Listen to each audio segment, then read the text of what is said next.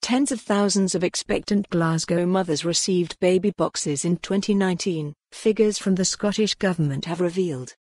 NHS Greater Glasgow and Clyde delivered the most baby boxes of any local health board, with a total of 11,258 boxes delivered to mothers last year.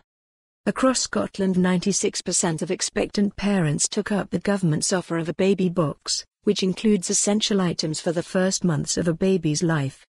The boxes, which themselves can be used as a safe sleeping space, include items to give every child born in Scotland the best start in life, including clothes, a blanket, a digital ear thermometer, a baby wrap and a poem from Scots Makar Jackie Kay welcoming wee ones to the world. The government introduced the boxes in 2017, inspired by a similar initiative from Finland, with the aim of reducing the number of children dying in their first year of life. A total of 45,558 babies received the boxes across the whole of Scotland last year. Parents reported universal satisfaction with the boxes. Minus 100% of surveyed recipients were satisfied or very satisfied with the quality of the box's contents. Finland, which has the lowest rates of child mortality in the world, began handing out the starter kit to all expectant mothers in the country in 1949.